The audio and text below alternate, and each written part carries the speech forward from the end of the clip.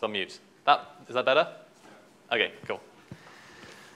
Okay, so um, today, uh, following on from uh, Tracy's excellent lectures, I'm going to talk about looking for dark matter. So in the previous lecture, we were talking about looking for new physics at much higher scales, not necessarily associated with dark matter at all. Here, we're going to talk about how we might actually look for dark matter in the lab. Now, you've heard in uh, Tracy's lectures about all the evidence for dark matter, but so far that evidence is purely gravitational. It all comes from looking at the motion, presumably under gravity, of standard model matter on large scales in the universe. Uh, for all we know, dark matter may interact purely gravitationally, and in that case, it's going to be extremely difficult to get any more information about it, apart from these better astrophysical probes. But like uh, like you learned in the previous lecture, there are lots of uh, well-motivated models, for example, electroweak scale particles of various kinds, the QCD axion, and uh, production mechanisms for dark matter, such as the thermal freeze-out mechanism that you were taken through, where you naturally do have a coupling to standard model particles, which is uh, more than just the necessary gravitational coupling. And if you have that, then you can try to look for the effects of this in the lab. We presumably have some local dark matter density. We've certainly measured dark matter uh, density in the sort of local environment of the galaxy, meaning the sort of nearest few kiloparsecs or so. And in almost all settings, unless something extremely strange is going on, there's dark matter floating around uh, in the neighborhood of our solar system and usually through us at this very moment. So if this interacts uh, with standard model matter through non-gravitational means, we can try and probe this new interaction via the lab, via things in laboratories. Okay, so the usual way in which you hear about this and the sort of best developed experimental program so far is the program looking for WIMPs, looking for heavy particles which will very occasionally slam into a standard model uh, nucleus or particle or atom and leave a lot of energy which you can then detect. So they have these massive underground detectors now reaching multi-ton scales in which they're looking for these very rare events. And that program has been an extremely impressive experimental uh, achievement and has ruled out many models, but there are still things in which it can potentially find. And that's, I think, something that you'll be hearing about tomorrow a bit in Tracy's lectures. What I'm going to talk about is uh, a somewhat different experimental program looking for much lighter dark matter, in particular, the kind of light bosonic dark matter that you heard about exemplified by things like the QCD axion, where instead of thinking of dark matter discrete particles, it's more like something like a radio wave, some coherent oscillation that is high occupation number. Um, and for those kind of things, there are very different ways of trying to look for this kind of dark matter. So um, yeah, I guess just as a sort of uh, general introduction to the sort of parametrics we're thinking about, and to uh, sort of follow on from the calculations that Tracy was doing um, earlier today. So like she was saying, one of the ways in which the easiest ways to get uh, a population of light bosonic dark matter is through what's called the misalignment mechanism. So in the early universe, set up by inflation or whatever, let's say we have a scalar field phi. We have that phi is approximately equal to some constant value phi 0 at early times. So throughout the whole universe, then once the Hubble scale is less than order of the mass of this particle, it starts oscillating in its potential, and at later times, you get that it's uh, suppressed by 2 the minus, uh, 3 over 2, sorry, 3 over 2 there. So you get some uh, dilution of this thing as uh, the universe expands, and you have some fast oscillation as well. Okay, so in the more, you, so Tracy took you through the case of QCD axion, where you have a very definite uh, prediction for the mass of this thing, and you have some kind of prediction for the initial abundance, but just more generally, if we allow these things to be whatever, what kind of values do we get? Okay, so let's try and look at the time of matter radiation equality, say, because that's an easy time to compare things, and see what the abundance we've got is. Okay, so at A of matter radiation equality, we've got that our energy density in our phi field, so this is parametrically set by m phi squared, m phi squared, phi squared. Uh, then you've got the kinetic term, which just takes out the oscillating part of that. So this is m phi squared phi 0 squared. Uh, in radiation domination, the scale factor goes like the temperature up to numerical factors on the number of species. So this is then T equality over the temperature at which it starts oscillating, all to the uh, 3 over 2. Uh, so that's parametrically the number density that we're going to get. The time at which it starts oscillating is when Hubble is of order m phi. So we've got that Hubble oscillation squared, which is m phi squared.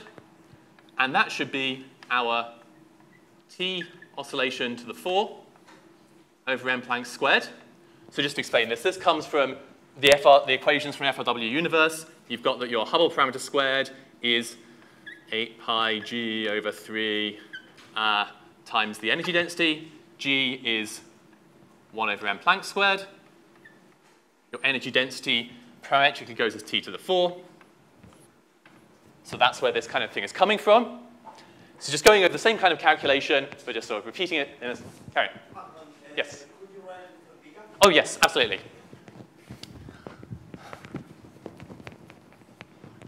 So we want, uh, yeah, so we want m phi squared to be of order the Hubble, uh, which is starts oscillating squared, and this, by the FRW equations, uh, is proportional to the t at which it starts oscillating to the 4 over m Planck squared.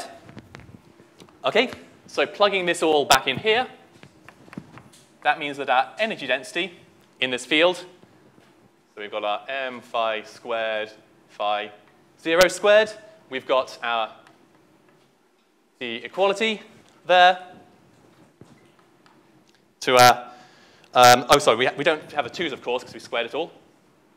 Apologies. T equality cubed. And then we've got our, um, so our T osc there was our m phi squared, m Planck squared. Now, so that was to the 4, so we want this to the 3 over 4. So putting this all together, we get that our thing is m phi to the half, phi 0 squared, divided by the equality, m Planck to the 3 over 2 times t equality to the 4. So this is the characteristic energy density of both matter and radiation around uh, matter radiation equality. Again, we're ignoring numerical constants. This is just to give you parametric field things. So plugging in numbers, this is t equality to the quarter, we'll plug in some, uh, so if we take this to be as low as it can be, so around 10 to the minus 19 EV, I think Tracy talked a bit about how structure formation means that bosonic dark matter can't be too light, otherwise things start going wrong. And then the phi zero that we get out should be about 10 to the 16 GeV in order to make this work. So the point about writing this is just to illustrate that in general, so fairly in general, uh, not just in the QCD axion case, which is a sort of specific example where you have slightly funny behavior, um, if you, you want that your dark matter particle is light, and you want the scales associated with at least its initial value to be rather large. And this points you towards sort of kind of models where you naturally have some light particle with coupling suppressed by some large scale physics, such as the QCD axion and the same kind of thing can occur in a number of other models. So we're looking at those kind of models. And like I said, that leads you towards things that can be good dark matter candidates because they are light and weakly coupled, so stable, and they can be cold dark matter through this kind of misalignment mechanism. Okay, so now we want to talk about, okay, how are we going to try and detect these things in the lab? So we have some oscillating background field, which is just all around us. How are we going to try and detect it? So in the QCD axion case, what we did was we took our theta CP, which our term, which uh,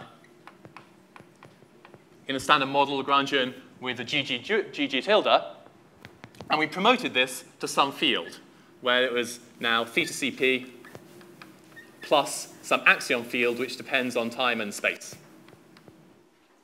So the simplest form of couplings is a generalization of this. So we've got other terms in the standard model Lagrangian. For example, we have the uh, kinetic term for the uh, photon, and this has got usually a value of a quarter. If uh, we stick and we promote this to a field, so we've got some phi of t, of course, this is uh, divided by some scale f, phi of t and x over some scale lambda, then we have some interaction of this field phi with the standard model in a different way. Similarly, if we, we can interact with phi times the fermions, giving varying fermion masses, etc.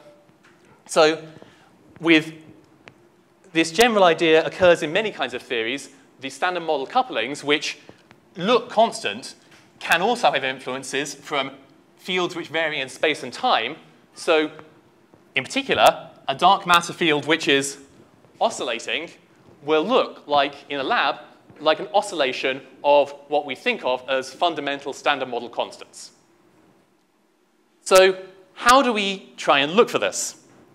Well, basically, we just sort of take the kind of techniques that we use to perform extremely precise measurements within the standard model and modify those to look for things like oscillations.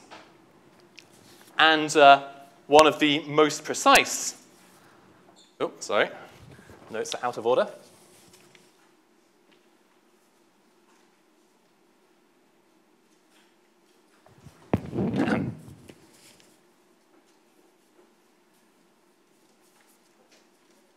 Um, well, uh, there we go. I will have to remember this part of the uh, talk because we have a slight uh, lack of notes for this. But, okay. So, um, sorry, let me just see if it is lurking around anywhere.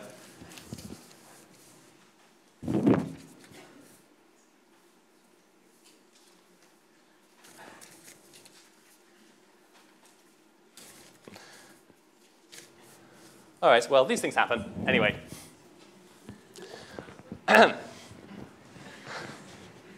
Not quite what I expected. All right, so um, one, of the, one of the most precise kind of instruments we have are atomic clocks. So I'm going to talk a bit about how we can use those to look for um, this kind of time variation of fundamental constants.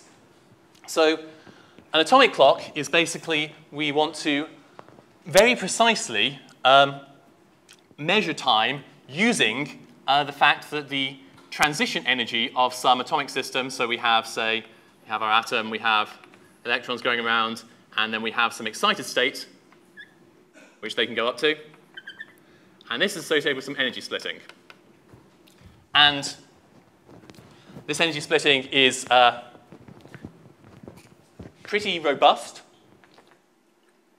external effects, uh, or can at least be made so by uh, making a very uh, clean environment in your laboratory. And the way that we can use this to measure time is, like we were talking about in the EDM experiment yesterday, an interference type experiment. So let's say that we have our two states, we'll call them uh, 0 and 1. And this one has energy E0. This one has energy E1, E0, plus delta E.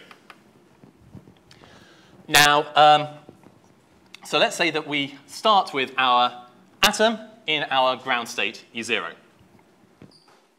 We then kick it in some way. We apply some laser field whatever in a way that is called a pi over 2 pulse, which is exactly set up so that it does the following transformation. So it does on our state, it's initially, this is our 0 state, this is our 1. So it takes our 0 state and it puts it into a superposition of being in the ground state and in the excited state. So that's the first step. We need to set up our superposition. Now, once we've done this, we leave it there for some amount of time.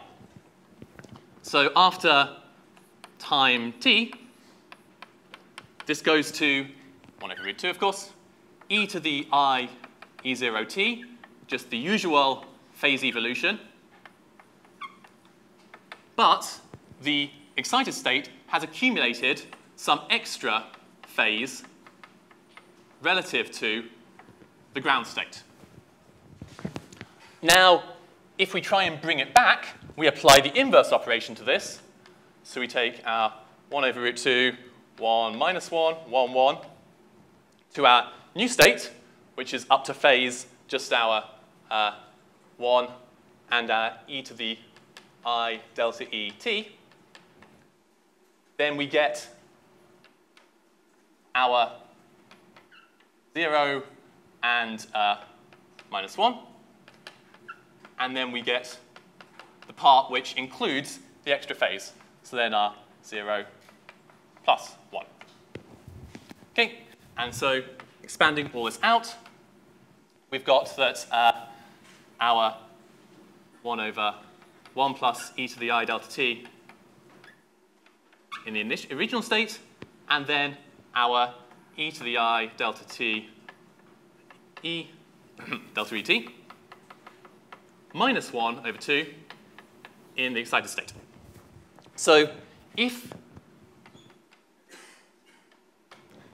if the phase that we, if the delta E was small, or rather, we can just expand this out in sines and cosines. So this is just our, so 1 plus cos delta t, etc. But if the phase is small, then this is approximately just our zero state minus, sorry, plus i delta e t over 2 times our other state. So we see that we have a transition probability from this, the probability that we went from in this whole sequence of pulse, leave it, and then pulse again, This gives us a transition probability from the initial ground state into ground state into excited state, which depends on the energy splitting and the time that we left it. So this kind of thing is basically at the basis of uh, atomic clocks being able to tell very precise time. For an energy splitting, which is typical for, say, an optical transition, so our delta E of order electron volts there, then uh, delta E times T is of order 10 to the 15 if t is a second. So even a tiny like, difference in time leads to a large difference in phase. So that's effectively, this is the large number that's coming in. Okay, but we're not actually going to use it to tell time. We're going to try and see if there are any extra contributions to this that we didn't expect just in the standard model. Yeah. Um, you so you, the way you'd implemented it is that you'd shine a laser at it, which was uh, tuned to the frequency of the transition. So what, in all of these things, I should say that you, don't, you want this state to be uh, rather stable. If it decayed during the time that you were leaving it, that screws your whole thing up. So this state should be, so the transition from here to here should be some forbidden transition, which means it doesn't want to do it spontaneously, but if you hit it with a large enough number of photons, i.e. a laser at exactly the right frequency, then just through Rabi oscillations, you will transfer some of the amplitude from the initial state into this state. So you hit it with a laser pulse at the correct amplitude and duration to give you this exact Rabi oscillation. Um, how sensitive is this to like how long the pulse is? Like if you have pi plus minus delta theta, yeah. then what is like the leading correction of delta theta? Um, well, so I mean, we can just put this all in here. and you'll find that it comes out as, I mean, that'll give you, basically give you, if you had an extra angle in here, it'll give you an extra angle between these. So this is, this is like an angle phi. Some area here will give you an angle like that. So in these sequences, you generally want to be very careful that, yes, you're implementing it in some way that is robust to your, the lasers that you're using, having some noise or having some offset, etc. So there are, of course, many experimental details to do with rejecting laser noise, doing it in some way that that all cancels out in the final measurement, etc. But uh, this is the sort of extremely schematic overview of what happens. OK, so this is the kind of uh, interferometry experiment, in some sense, that an atomic clock represents. So how can we try and use this to look for um, variation of our constants? So the overall point is going to be that the energy splitting uh, of the levels of our atom or whatever is going to depend on the standard model parameters. It's going to depend on, so delta E depends on alpha EM, it depends on the mass of the electron, depends on the mass of the proton, etc. All of these things. So if we vary them, so our delta E is going to be our delta E0 plus our dark matter field, phi of T and X over lambda times our cos m phi t, where, where some constants out here plus dot dot dot, where this parameterizes how sensitive this particular energy level is to the variation. Now, of course, if all of your uh, energy levels changed in the same way, that'd be rather hard to tell. You'd have one clock was going a bit faster than another, but how, well, no, sorry, one clock was going a bit faster, but all the other clocks were going faster as well. So it'd be rather hard to tell the difference there. You'd need to have one area with a different dark matter density compared to another or something. That'd be difficult. But helpfully, different transitions depend on the constants on alpha, ME, MP, etc., in different ways.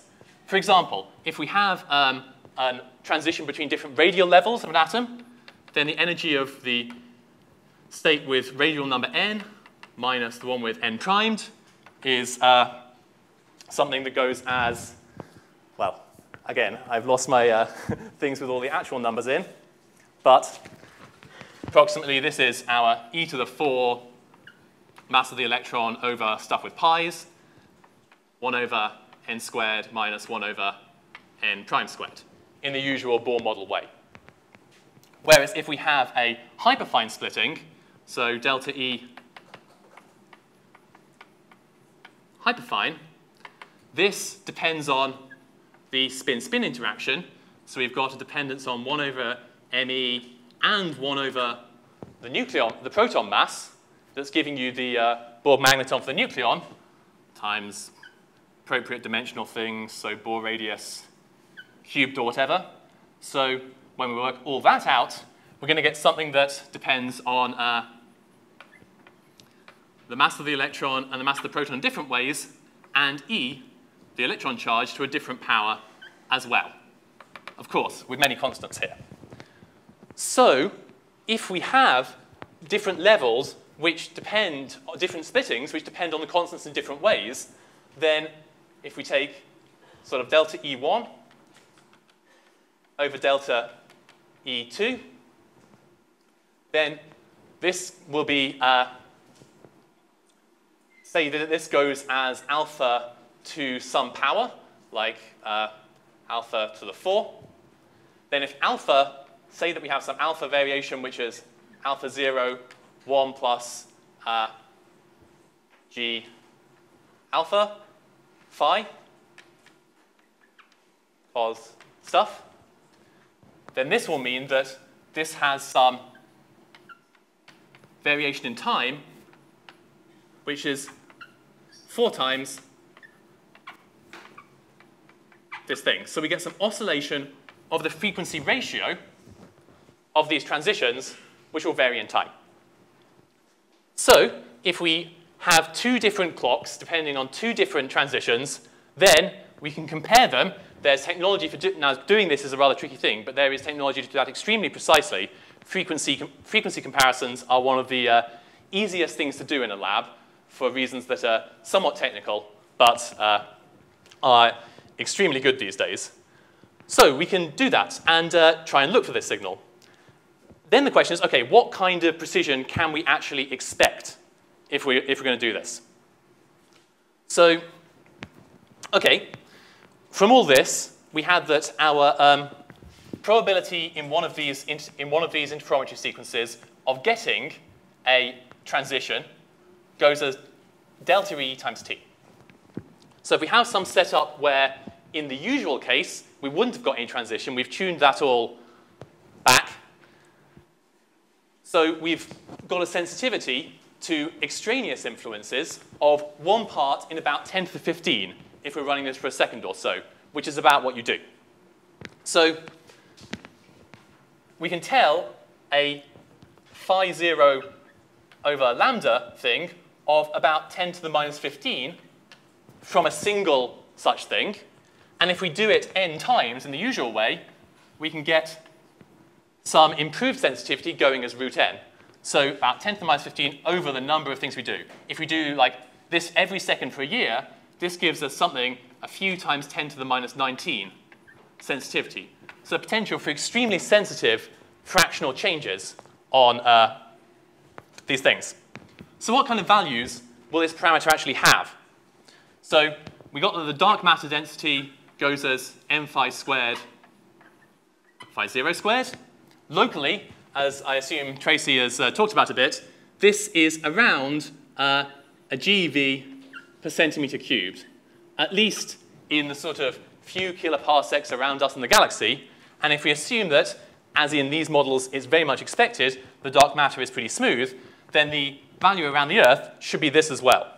So that means that our phi 0 value should be the square root of this over the mass. So this means that if we evaluate our phi 0 over lambda value, then this gives us, uh, putting in some numbers, so this is our delta rho over m phi lambda. So if we take lambda to be of order the Planck scale, just a comparison, and we take m phi to correspond to an oscillation of, uh, on the scale of minutes, which is the kind of thing that we could easily see if we were doing some kind of clock comparison over m phi, then the number we get is about 10 to the minus 14. So that is very encouraging. So what that's telling us is that we definitely, for very low mass things, as we're going to talk about a bit in the next lecture, more than gravitational strength interactions are very dangerous because there are very sensitive tests you can do that will actually show up the effects of those, whether they're dark matter or not. But this kind of estimate is telling us that even if these things are significantly more weakly coupled to us through these kind of operators than gravity is, so they stand a chance of evading the non-dark matter bounds, then these kind of tests could still have orders of magnitude of sensitivity reach to see them. So these kind of comparisons are being done between extremely precise clocks of different kinds and are starting to uh, put constraints on these kind of models. Now, of course, there are many experimental issues which this completely glosses over. This is the uh, extremely zeroth order picture. You need to be extremely careful that no other uh, external influences come in and mess up the evolution of your superposition. And you also need to be sure that you know exactly what initial state you start in. If your atom has some additional motional motion, then that will uh, lead to redshift, which can swamp this. If there are some additional magnetic fields or whatever, then that can lead to things screwing up. So it's extremely uh, difficult. Sorry, yes.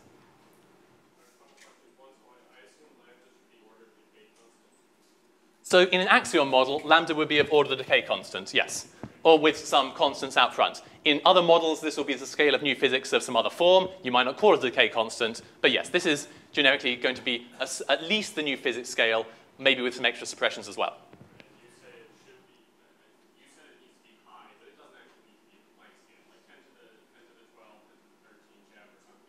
Ah, no, so that's for axion-like couplings. As we'll, so this is kind of leaping ahead, but as we'll talk about tomorrow, couplings of this kind, uh, or couplings to uh, like fermion masses or whatever, are actually subject to much, much stronger constraints for low mass particles. Um, unlike an axion, they will show up in things like equivalence principle tests, which we'll talk about, and so they can't actually exist, even if they're not dark matter, in the spectrum at low masses, unless their couplings are extremely subgravitational.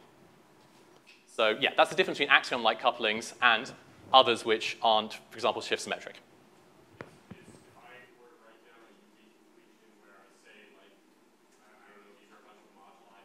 Yes.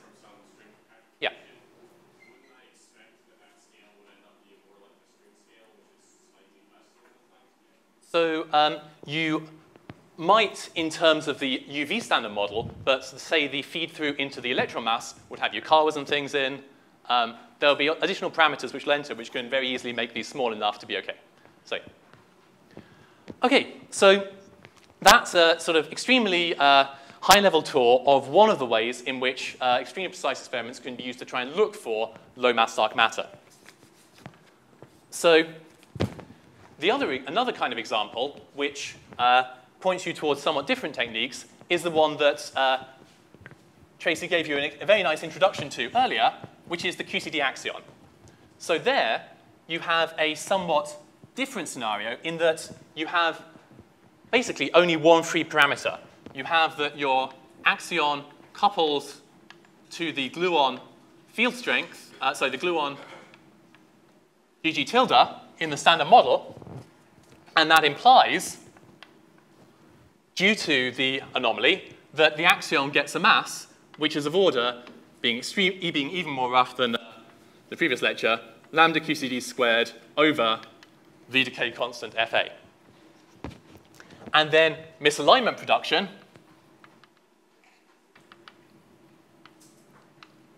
we now no longer have two free parameters, we only have the one free parameter, implies that we get the correct dark matter abundance. So if the initial theta angle was 1, the correct FA that we need is about 10 to the 11 GeV, which corresponds to an axion mass somewhere around 10 to the minus 4 EV. Now, of course, like Tracy was saying, if we allow somewhat different values for the initial uh, angle of this thing, we can go to higher FA, smaller mass, and be OK. If you look at the production mechanism through uh, post-inflationary symmetry breaking, you can go to higher masses, things will still be OK. But we're still in the regime where we only have one parameter, the mass or the coupling, depending on how you want to put it, and there is a natural sort of target region in that mass place, which is, in particular, corresponds to frequencies of around uh, 10 gigahertz. So we're looking at frequencies much, much higher than the kind of things you can get for like the clock experiments or the measurement, generally measurements of fundamental constants. Those are done with long time scales, like seconds or so, to get you the highest possible precision. Here, the thing is oscillating at gigahertz, so in these kind of experiments, the effect will completely cancel out. So you need to use very different kind of techniques to uh, see this.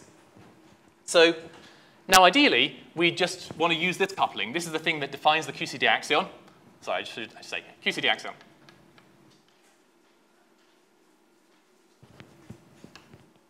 And this is the thing that's guaranteed to be there. But looking at nuclei at gigahertz frequencies is somewhat awkward. The sort of natural frequency corresponding to nuclear spins, so we have the nuclear magnetic moment, which is of order E over 2 times the mass of the nucleon. And even in the biggest B fields that we can, we can produce of order Tesla, this is about 3 times 10 to the minus 8 EV. So much, much lower frequencies than this. So there's a bit of a frequency mismatch of nuclear spins, and nuclear excitations themselves are much higher energies. So doing things with nuclei at gigahertz frequencies, kind of awkward. So instead, it makes sense to try and look at the other kind of other couplings that the QCD axion might have. So we've got the, uh, this term, writing it out properly, we've got factors of alpha s over 4 pi in the usual definition, etc. G, G tilde. The other thing that you naturally get coming along for the ride is a coupling to the photon through loops. So you have this C factor here, and then you have the F, F tilde where this is the uh, Maxwell field strength tensor. So this kind of thing in the low energy standard model has nat is naturally around 10 to the minus 3 just from uh, integrating, well, effectively integrating out uh, pions. The fact that the QCD, QCD matter is also charged under EM means that you naturally get a value somewhere around there.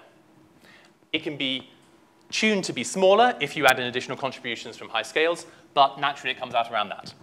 And you also, somewhat more model dependently, have couplings to fermions. So you've got couplings to the various standard model fermions through pseudoscalar operator. So the thing that is sort of most natural and most generic at gigahertz frequencies is to try and look for it, the QCD axion, through its coupling to photons. Now, so what's, what does this coupling look like and what are its effects?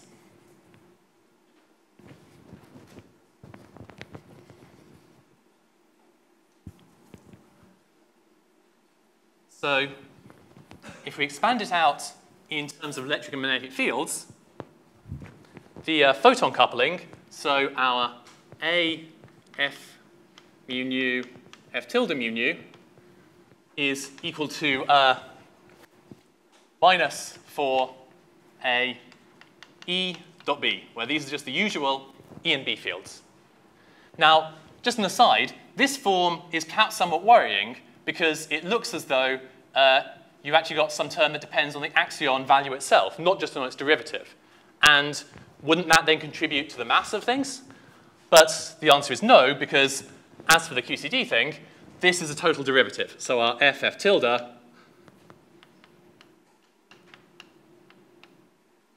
is, if we expand it out, d mu, a nu, f tilde, mu nu. Well, I've ignored constants and things. So we can integrate by parts in the Lagrangian and transfer this derivative to the A field. So it is still a shift symmetric coupling. Now, the same is true of the QCD thing, but there we have topological structure, which means that uh, doing that integration by parts encounters issues in infinity. For standard model electromagnetism, there are no such issues, and for a constant value of the A field, this has no effect. So everything's OK there. This doesn't give any uh, extra weirdness. OK, but what does it do experimentally? What this means is that uh, we have some, if we have a low velocity axion field, it looks like some effective current density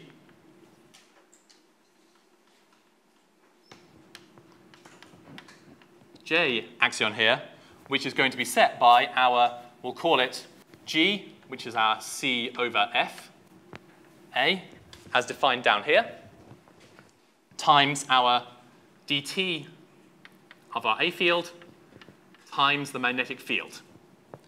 So if we have a big magnetic background magnetic field, then the time derivative of the axion will correspond to what looks like an effective current density, and this oscillating current density can drive, can source photons, which we can then try and look for. Okay, so how might we try and do that? The most sort of naive thing you might try and do uh, turns out to be pretty much the best thing to do and the thing that uh, is currently the most sensitive way of looking for QCD axions in the gigahertz mass range. So we make some cavity where the length scale of this cavity is of order the inverse mass scale of our um, axion. So if it's gigahertz-ish range, then we're looking at something which is of order tens of centimeters or so. And we have a big background magnetic field inside this cavity. In diagram terms, this coupling corresponds to an axion coupling to two photons. So one of these photons we can take from the magnetic field, and then this axion current due to this magnetic field background will be able to drive uh, the creation of photons inside the cavity. So what's the rate of this, and uh, can we hope to see it?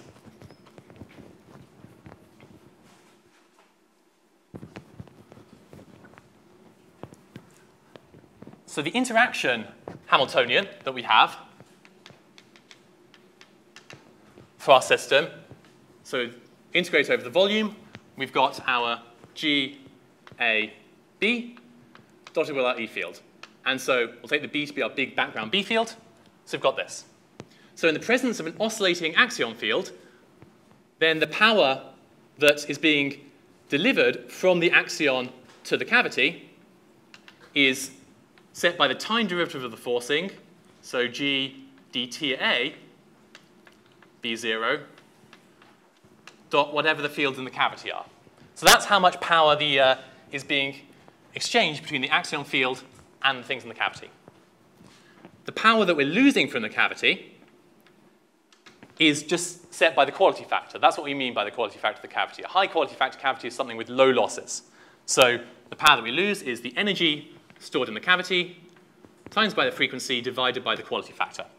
So schematically, this is of order the E field in the cavity squared times the volume times the frequency divided by the quality factor. Okay, so if we've reached uh, some equilibrium, if we've left it long enough for the axion to ring up the oscillation in the cavity, then we can equate these two things. So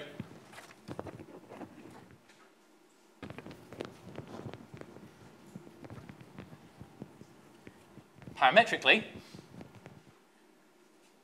this input power was of order the volume times g times the frequency times the axion uh, amplitude times the B field times the E field.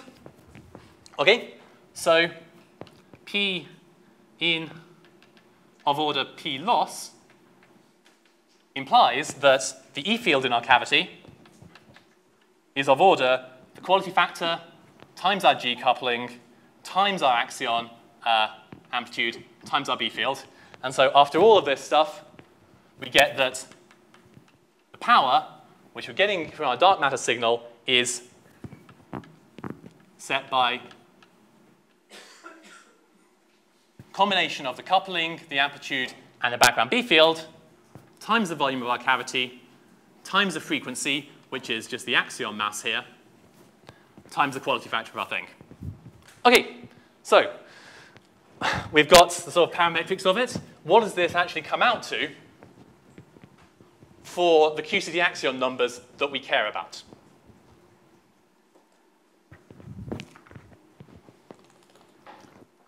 So plugging things in, we've got that uh, from before, we had that our G was approximately 10 to the minus 3 over FA in sort of uh, untuned things. Well, 10 to the minus 3 slash 10 to the minus 4, so depending. And we had that our uh, rho axion was m axion squared, amplitude of axion field squared parametrically, which was our local dark matter density of around GeV per centimeter cubed. And we have our axion mass in terms of the coupling. So putting all that together, the power that we get out is 5 times 10 to the minus 21 what? If we have a B field of Tesla-ish strength, which is like a big but entirely doable laboratory B field. If we have a quality factor of the cavity of a million or so, again, big but doable. Volume of around meter cubed and an FA of 10 to the 11 GeV-ish, which is around where we're interested in. Okay, so that sounds small, but how big is it? If we put it in terms of the mass of the axion, which is also the energy of the photons that we're getting out, because we only have one frequency in the problem, then this comes out to 500 hertz or so with all of this list of parameters. So we see that we have 500 signal photons per second, which is not a crazy number. Now, of course, it means that you need to cool your cavity down a lot, such that black body photons are not coming in at this rate. It means that you need to be very careful that your amplifiers are not injecting more noise than this, etc. But if you have a, a quant if you have a setup which doesn't have any extra limitations, which you can almost realize now at the microwave level, you have uh, almost quantum limited amplifiers you can cool down such that your blackbody photons are almost not there. They're a very, very low number. So this is doable. And indeed, the ADMX experiment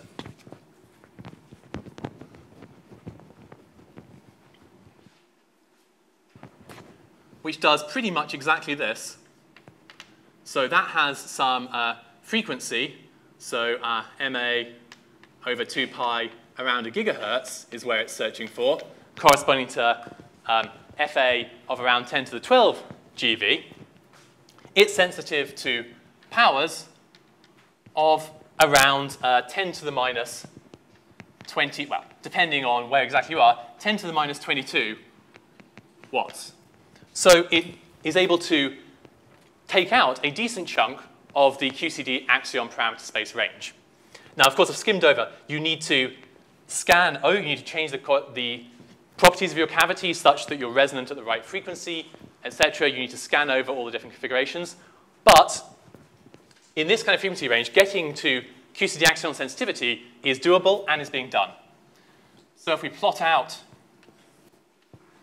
so this is mass of the axion, and this is uh, our coupling. The QCD axion uh, band is some sort of untuned space, which is, so we have the usual MA proportional to 1 over FA relationship. So G is proportional to 1 over FA. There's some band in which the coupling to photons might plausibly be given uh, a particular FA. And then, which I think Matt will talk about a bit more in his lectures, you have bounds which don't depend on the axion being dark matter. So if the coupling to photons was too big, then you'd be ruled out by observations of stars and various other things. So at frequencies of uh, gigahertz or so, ADMX has taken out some chunk of the parameter space in which QCD axions could be dark matter with this photon coupling. So the uh, exploration has actually reached a very interesting regime. Now, of course, uh, the mass that we the mass that we're looking for wasn't set in stone. There is some uncertainty even with, with the misalignment mechanism. There's uncertainty as to what uh, initial theta value would be there. And like Tracy was saying, there's very definitely uncertainty as to if you uh, go beyond that and you're looking at production after inflation, then everything becomes more complicated and you could live over a wider mass range above that. So at lower mass ranges, this would be quote unquote tuned misalignment. Though the tuning is not that severe and there are various, you might make anthropic arguments as to why this tuning shouldn't worry you. And up in the higher parameter space regime, higher mass regime, post-inflation reproduction, may well be uh, able to take you up to higher masses. Okay, so this is, ADMX, etc., is extremely interesting, but it would be very nice to explore the rest of the parameter space regime and see whether we can um, either rule out or find QCD axion dark matter there. So there are a lot of there are a number of experimental concepts down in the lower mass region, um, some of which even attempt to look for this coupling, which is guaranteed to be there. But uh, those are of a rather different kind of nature, and I won't have time to talk about them here. So one thing that I will talk about a bit is how might we try and extend this reach upwards in mass? How might we try and look for QCD axions at masses above the few gigahertz range? So there, we'll try and look at the photon coupling again because that's the most convenient thing to look for at high frequencies the parametric sort of power calculations that we did before still hold. And because we have that FA is proportional to MA, if we do this P over MA calculation, this cancels, and it turns out to be, for the parameters as before, a B field of a Tesla, volume of a meter cubed, et cetera, et cetera, you get that this is 500 hertz for whatever axion mass you're looking at. So as you go up in masses, you're still getting the same number of photons per second out of your hypothetical apparatus. So it's certainly not, the scaling is such that you could certainly hope to see decent signals here if you're seeing signals at ADMX. However, there is a difficulty. And that difficulty is effectively momentum conservation.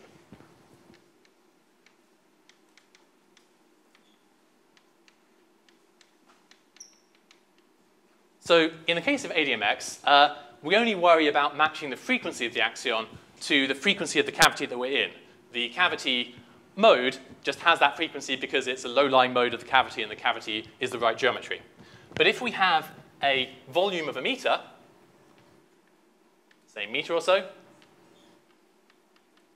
and we have a frequency of much larger than gigahertz, then the wavelength of photons that we'll be trying to, that we convert from axions into photons will be much smaller than a meter. So we've got that our lambda much, much less than meter.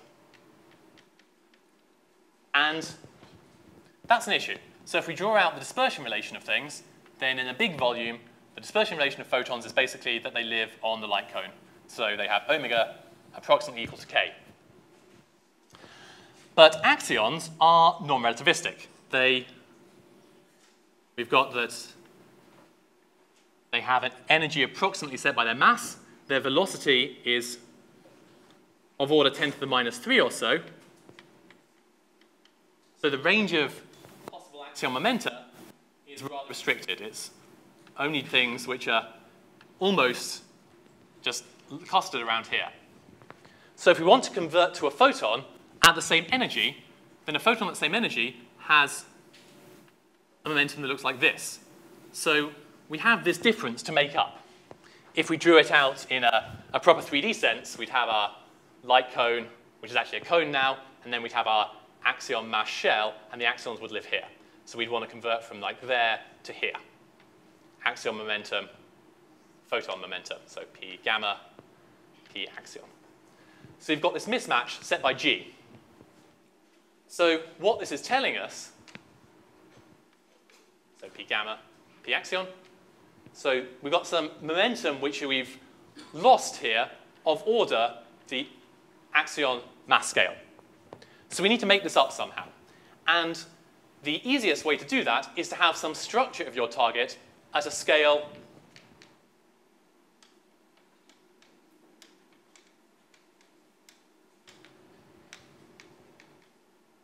scale lambda, which is of order ma inverse. The most naive way to do that would be to just say, okay, well, I can just make tons of little cavities. I can make a whole load of them, each about wavelength size,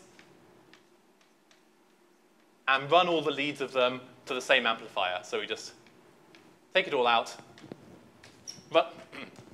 run a load of wires back and forth, and do that.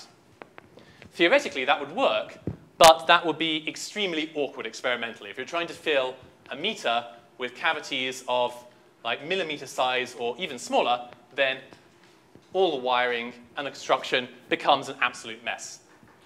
So what can you try to do? So one answer to that is instead of using cavities, is to use some kind of structured material. So what in the optical range are called photonic materials. And in the very simplest form, these things are just periodic structures where, let's say we have a load of disks and each of these disks have different um, refractive indices. So refractive indices N1, N2, N1, N2, etc.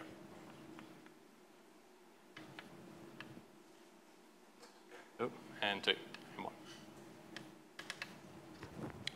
Now, in a medium which is effectively periodic, uh, you don't have the usual, so in free space, you've got that uh, EM waves just look like harmonic functions, like e to the, so e of x would be e to the i k dot x. It'll just look like sines and cosines. In a periodic medium,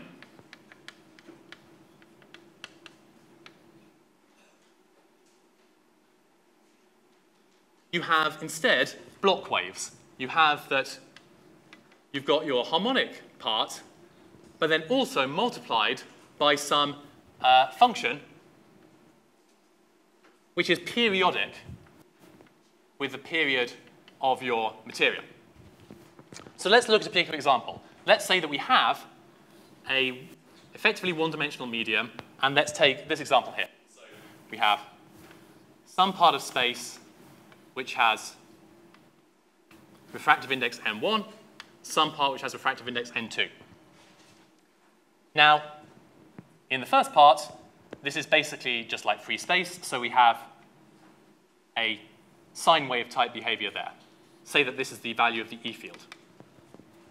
Then at the interface, this is say zero, and this is whatever values. This is continuous here at zero, and the derivative has also got to be continuous if the material isn't magnetically active. So we've got to have continuity of this and the derivative, so it just goes through like that. Now in this space, it's also part of a sine wave, and it's got to get to zero here. So to match that up, it must be just a scaled down version of this one, where the ratio of these is uh, n1 to n2. So we'd have a periodic function that instead of looking like a pure sine wave in free space, which would be just like This would be x. This would be the E field. We've got something which has got some uh, different structure. Now, OK, how does that help us?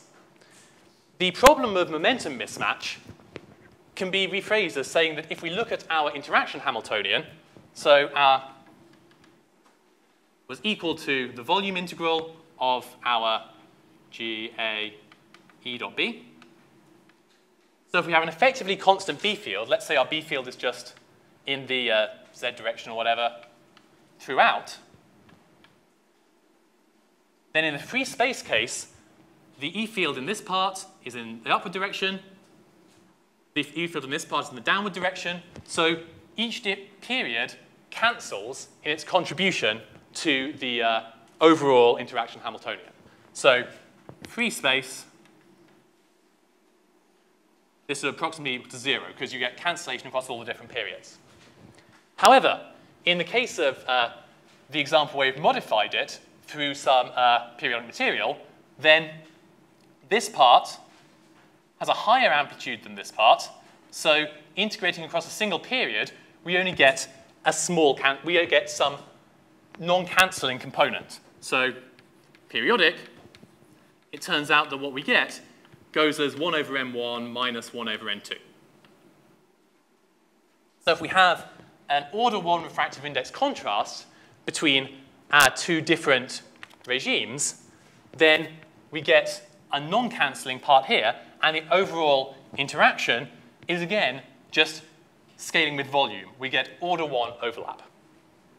So we can then plug everything back into here. The parametrics of this are just that it goes as the volume times the average field times B0, and we can get back to this kind of uh, 500 photons per second value that we were getting just from a cavity. So this kind of thing is uh, something that's being pursued across multiple different mass ranges.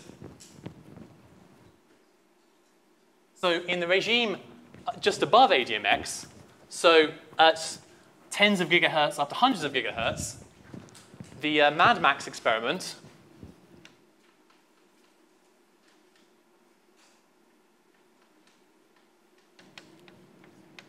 is a proposal to do exactly this using a series of uh, dielectric disks. So you just take your uh, you take a sort of shielded volume, you put a load of disks like this, you put a mirror at one end, and then in the presence of a magnetic field which is perpendicular to the disks, so we've got a B0 in this direction, then a background axion oscillation will cause photons to be emitted, which you'll then collect onto a receiver and try and see them. So this is one way of trying to uh, get around this limitation of momentum conservation. Uh, at higher frequencies, there are various materials which can be fabricated. Sorry, Karen. Yeah. Yes.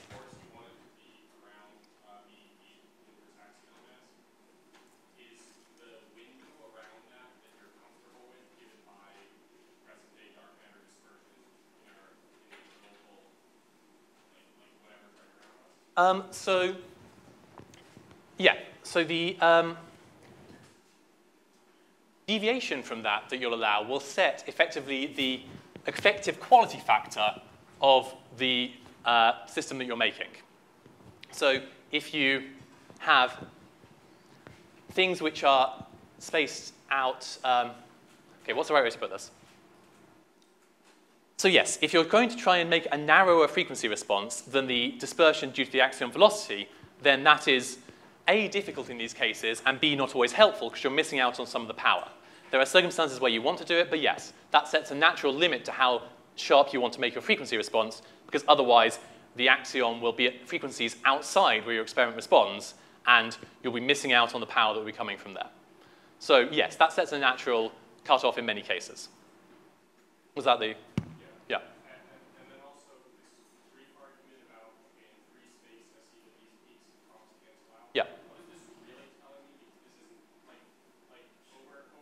Yeah. Yes.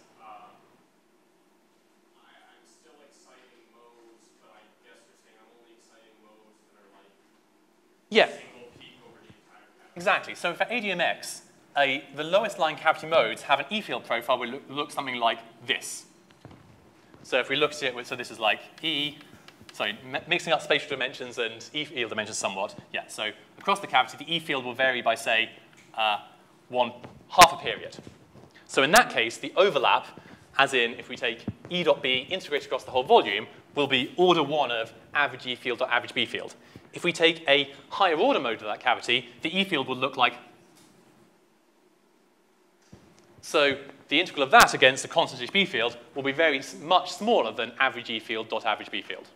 Whereas if it has this form instead, then it will again be back to small suppression, average E field dot average B field. So that's where that's coming from. Okay, um, so yeah, so there, that is just to give an illustration of one technique which you can try to use to push up uh, the search to higher frequencies and probe some of the other probe some of the range which is potentially also allowed from uh, early universe production mechanisms. Uh, like I said, there's also another story which is um, even more sort of various, varied at low frequencies, because then you can more easily go after the couplings to nuclei and things, but uh, that would be somewhat of a separate discussion. So um, yeah, any, any questions on the axion detection side of things at this point? Okay, um, well, if not, then um, move on a bit to talking about uh, looking for dark matter scattering. So, yes, uh, sorry. Oh, yes, sorry, I realized I didn't label the y-axis. That is unhelpful. Okay, so, like I said, I think this will be talked about a bit in the BSM lectures, but just to give a very brief preview of it. So, the, the FA that we're talking about here, um, so we're talking about, for ADMX, uh, FA of order 10 to the 12 GeV or something. So we're looking at 10 to the minus, uh, say, 50, 10 to the 1 over 10 to the 15 GeV or so for our coupling to photons down here. The constraints from astrophysics, so from uh, supernovae, horizontal branch stars, things like that, come out at about 1 over 10 to the 10 GeV. Now, they tend to work independent of the mass. The basic point there is they're coming from processes such as you have high energy photons and high energy uh, electrons, say, inside stars. So we have a high energy photon come in, our high energy electron come in. They can interact through this kind of diagram. So this is like gamma, electron, electron, axion. This is called Primakoff production.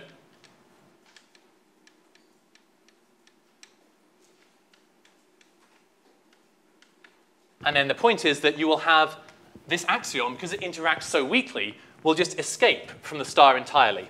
So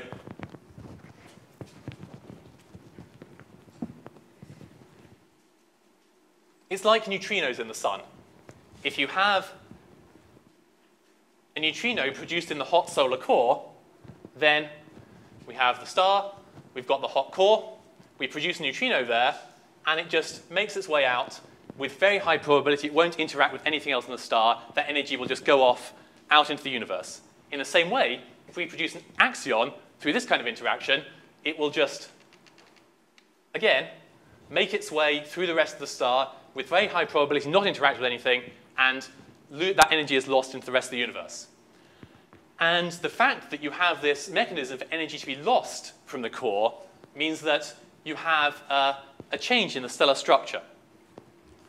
There's uh, you can solve for what the uh, pressure and temperature, etc., throughout the star should be, and the fact that it's losing energy from the core means that it should look a bit different than our models predict. And because our models match very well to the, the structure of the sun, the structure of other stars, and to a lesser extent, our understanding of supernovae, we can put bounds on how much energy you can lose through axions. Basically, it's got to be less than ish you've got to lose through neutrinos, because otherwise everything screws up. So the comparison is usually to neutrino loss. So coming back to this, this is telling us that as long as if the mass of the axion is much, much less than the temperature of the core, then in this process, these things are coming in with energy approximately set by the temperature, so the axion mass is unimportant. And the temperature at the core of the massive stars that provide the best constraints is of order 10 keV. Whereas remember down here, we're looking at 10 to the minus, uh, 4, well, 10 to the minus 5-ish EV. So all of these masses are almost negligible from the point of view of the temperature inside the core of a star, so you get this, these constraints don't care about this mass at all. They hold, down, they hold down to small masses and way up to much higher masses. So that's why they have this form of just a flat line here. So um, yeah, this sets the point below which you want to look if you're doing a dark matter experiment to have any chance of seeing it, because these constraints apply whether you're dark matter or you're not. But for the QCD axion, it also means that you're safe. Uh, they only overlap with the actual line somewhere around a mass of EV or so. So a QCD axion of mass significantly less than EV is not significantly constrained through the photon coupling. Generically, it also have couplings to nuclei, which means that at a mass less than around 50 milli EV, uh, it's safe but at higher masses, supernovae would produce it too much. But um, yeah, this kind of transportation regime is safe. You can, can't really see it through production just independent of the dark matter abundance. You want to look for the dark matter abundance in the lab or in other astrophysical systems stand a chance of seeing it. So the MADMAX experiment is looking at, so ADMX is around a gigahertz. There are other cavity experiments which are basically ADMX high frequency, the same kind of thing, which go up to around, sorry, I'll make a bigger graph here.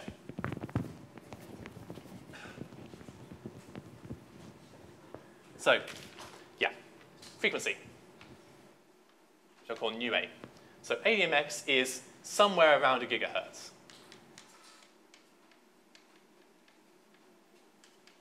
Then ADMX high frequency, which these days I think is called HAYSTAC, for political reasons or something, um, is looking around the sort of few to 10 gigahertz regime. So around 10 gigahertz. Then MADMAX is planning to look from around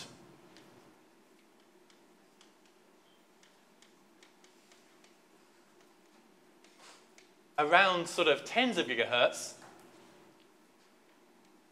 to around hundreds of gigahertz. Where is, this is not a built experiment yet, so uh, we'll see where it actually ends up doing that. But yes, somewhere in the regime of a couple of orders of magnitude above ADMX. Now, there are also experiments using, uh, some of which I'm involved in, using the, the photonic material versions of this. So instead of actually just like positioning the disks by hand, you build some material that's naturally got some periodicity. And those are easiest to do way up at higher frequencies. So uh, scales which correspond to sort of uh, less than or order in, EV. So just below the point at which the astrophysical bounds are starting to come in. Now, you might say, okay, there's a bit of a gap here. So around sort of uh, terahertz frequencies, what's going on? So yeah, photonic.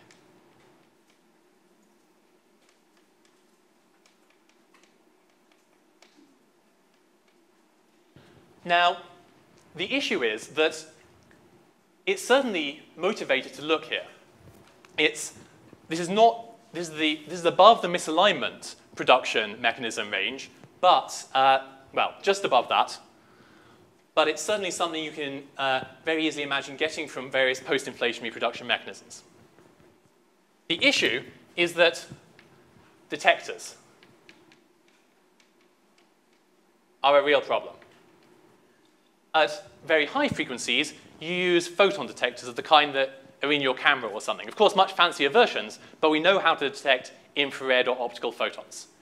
At microwave frequencies, there are well-developed technologies from things like radio astronomy, but also much fancier things developed for quantum information style things, so things which almost look like qubits.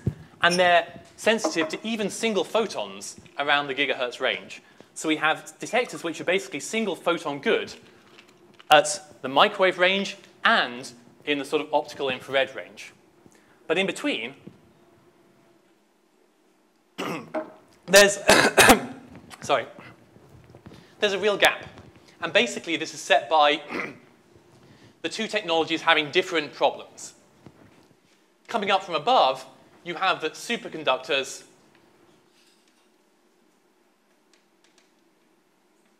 you start become going above the superconducting gap of materials. So at microwave, uh, you can have very low loss things involving superconductors. But you try and extend that to sort of tera to in the far into the terahertz range, and you start breaking Cooper pairs and things.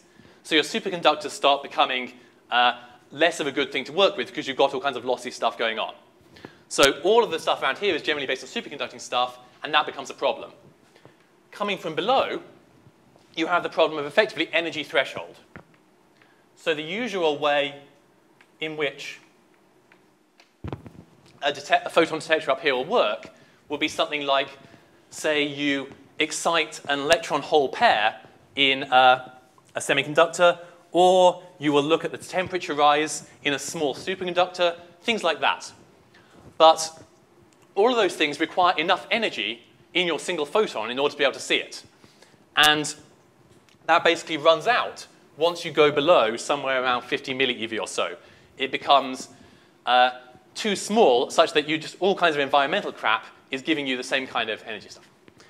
And filling this gap is a research pro program on multiple levels, both because it would be extremely interesting for physics through things like dark matter experiments and whatnot, but also because technologically, lots of people are interested in things here. Uh, people who are doing um, various sort of imaging type things, so like the things that you stand like that at the airport, uh, things which are trying to look at um, various biological processes, I think, so there is strong motivation for people to try and build new detectors in this range. And uh, there are a number of ideas, a lot of them based on either up converting it to this range where you can see it, or down converting it to this range where you can use the existing technologies. So yeah, eventually, unless we find something um, in either the lower mass range or the higher mass range, we will want to try and explore this sort of gap in the middle, and that's a technological challenge, but something that people are actively working on. So uh, we will see. Okay. Um, actually, yeah, I probably don't have time to start on a sort of whole new topic there. So, yeah, are there any other questions on um, any, anything so far?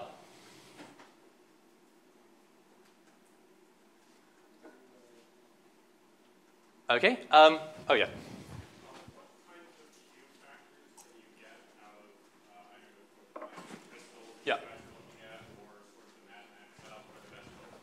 So the Q factor is um, actually quite easy there because if you have a given configuration, you can always make the Q higher by taking, let's say we take our stack of material. If we have the stack of bare material, just like this, then the Q would be of order 1 over the number of periods. So a 100 period thing will give you Q of 100. Sorry, no, not 1 over. Number of periods. So the loss goes as 1 over the number of periods. So the quality factor goes like that. However, if you want to enhance quality factor, all you do is you stick it in a sort of cavity. You stick it between two slightly reflect, slightly transmissive mirrors. So it's very easy to take one of these things and up the Q. The reason why this is not uh, something you'd always want to do is that higher Q means that if we draw out in axion mass parameters, so this is the mass of our axion, this is the power in our signal, if we have, say, 100 periods, then we'd have some thing that looked like this. We'd have a fractional mass range of order 1 over 100, in which we are sensitive, and the uh, power that we get there is the Q boost is by a factor of 100 over p over some fiducial p0 if we go to a Q of 10 to the 5 or so by putting it inside a cavity, then we boost this something very, something 10 to the 5 or so. But we also restrict the range over it works to be 10 to the minus 5. So we'd need to change our configuration. This we need 100 steps throughout if we're going to do it this way. This one we need 10 to the 5. So the overall number of signal photons, if, the dark if we don't know the dark matter mass and we have to step through the entire range, is the same in both cases. Now, it can still be beneficial to use high Q. The reason why uh, things like ADMX do it is that all of your power is then coming in a single configuration. Whereas if you have noise photons, then those you see in all of the different things. So you're enhancing the signal to noise by, in the configuration where you're actually tuned correctly by going to higher Q. That's not necessarily such a problem at the higher mass range because you can make extremely good single photon detectors with extremely low noise, and of course blackbody radiation isn't so much of an issue there. So depending on what your noise properties are, it may or may not be a good idea to go to higher Q. At low frequencies, noise is still enough of an issue that high Q is a really good idea. So that's sort of, there's a trade-off there, and whether or not it makes sense to go to high Q or to lower Q depends on what your noise issues are.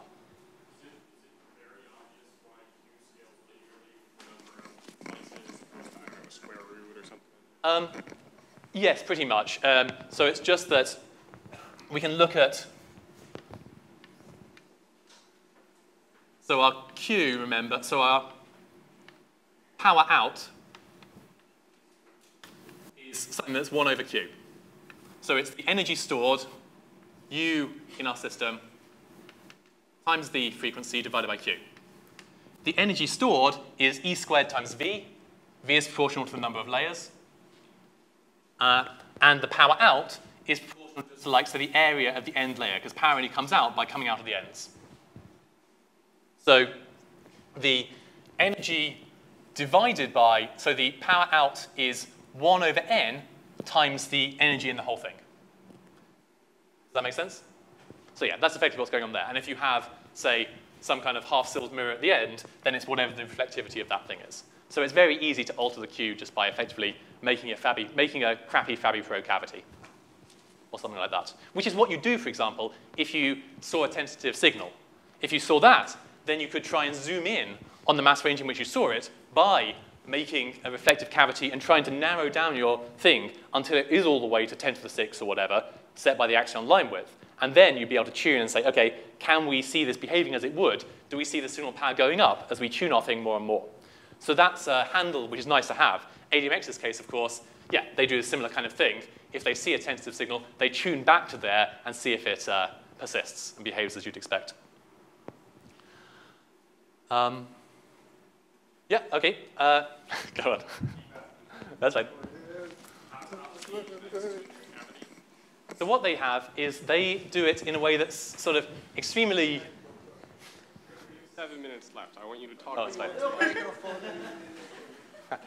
anyway, so they have a copper rod sticking there on a sort of rotating thing. They rotate, they rotate this, and the copper rod moves position. So they're sticking like a little thing into the cavity and cha literally changing the gross shape of the cavity in little steps.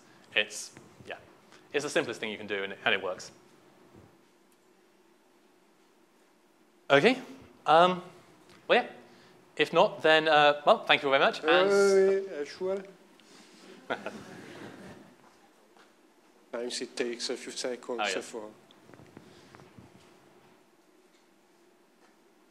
Apparently, yes. So thank you very much. and see you tomorrow.